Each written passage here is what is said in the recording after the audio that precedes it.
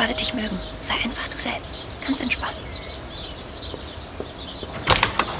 Hi. Kommt rein.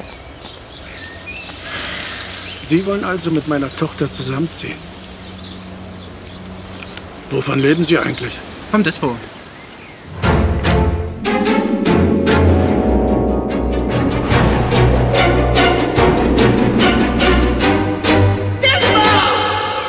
Wie wär's mit einer kleinen Spritztour?